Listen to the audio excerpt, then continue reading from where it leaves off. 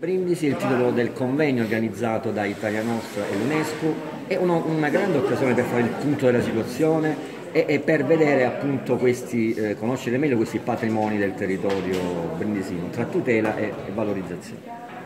Eh, sì, con eh, il Club UNESCO Italia Nostra, sezione di Brindisi, abbiamo, insieme abbiamo organizzato questa sera questa conferenza appunto sul tema delle zone umide, eh, perché intendiamo appunto sensibilizzare tutti i cittadini sui temi e i valori della salvaguardia del territorio, che è una cosa fondamentale nella nostra società. Questa sera abbiamo, avremo qui presenti dei relatori molto qualificati, specialisti del settore, Gianfranco Ciola che è un agronomo, Paola Pina D'Astore biologa ed Ennio Santoro forestale che parleranno proprio delle zone umide costiere della, della nostra provincia. Questo sempre nel contesto di valorizzare la conoscenza del nostro territorio, al tempo stesso poi sensibilizzare i cittadini alla salvaguardia e alla conservazione di questi beni.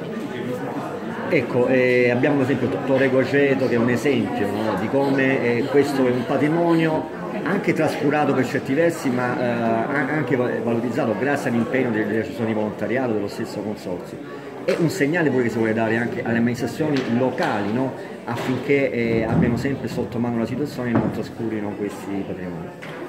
Certo, noi ci rivolgiamo ai cittadini ma ci rivolgiamo anche, chiediamo appunto alle amministrazioni di essere presenti, attive e di tenere bene a cuore la situazione delle aree protette della nostra provincia. Torre Guaceto è un esempio di area protetta conosciuto in tutta Italia e che deve essere ulteriormente valorizzato e ancora maggiormente tutelato.